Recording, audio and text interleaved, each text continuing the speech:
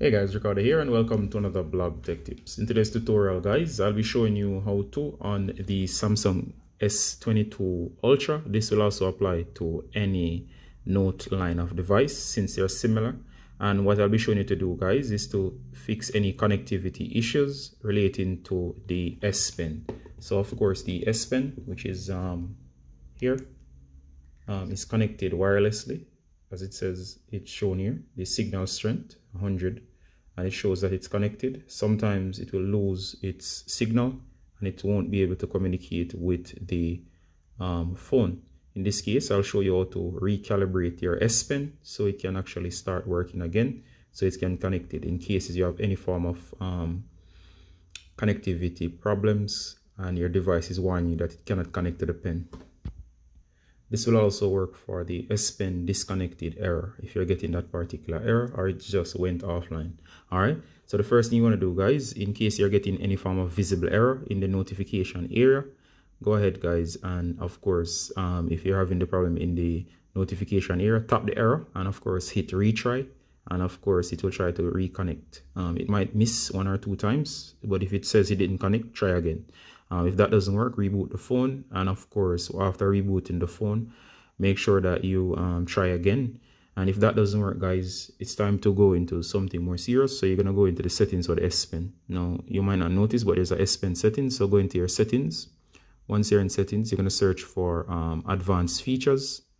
Under advanced features, you'll notice there's an option here that says S Pen. Go ahead and select S Pen. Now, of course, um, this is a good menu to know for your S Pen as it gives a lot of functionality. Notice that there's a whole lot of stuff in here um, related to your S Pen that you can customize, either turn on or turn off or modify. And of course, um, the one you want to go to now is the one that says Air action. So go ahead and tap Air action. Now, as it says here, it says available 100%. And of course, here it's the controls for the S Pen. So go ahead from here and tap here that says more options and you'll see two options right here let me move it closer. As you can see here guys um, it will give you two options. It still give you the option to reset the S Pen or scan for S Pen. And the first optional I'd that you use is to use a scan for S Pen. So in case it's not being detected go ahead and scan for the S Pen. And notice here it will run through um, the um, options. It says connection button. There's a button on here. It will um, allow for connection. It says press and hold the connection button on your S Pen for three seconds until the LED starts blinking all right. So go ahead and do as it um, identifies and simply run through the process and it will guide you through connecting. Um, it should connect once you do all of that. I'm not going to go through the entire process.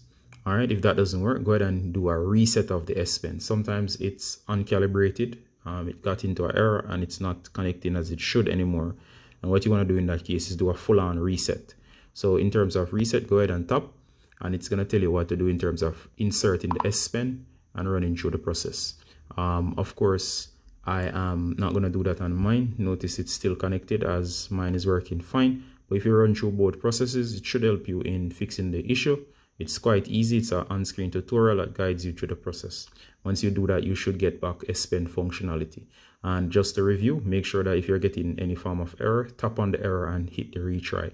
Um, rebooting tends to help. Um, if not, you can also try inserting into the cradle, removing it from the cradle, try refreshing the error on screen that says retry. If not, go into the settings I just showed, run through the process of scanning. If it doesn't find it, do the reset option and the reset option should help you in calibrating the pen and of course in no time again your S Pen should be working. All right? I hope this was useful. If you have any feedback as always guys please do so in the comments. Ricardo Gardner from Blog Tech Tips saying bye until next time. Bye guys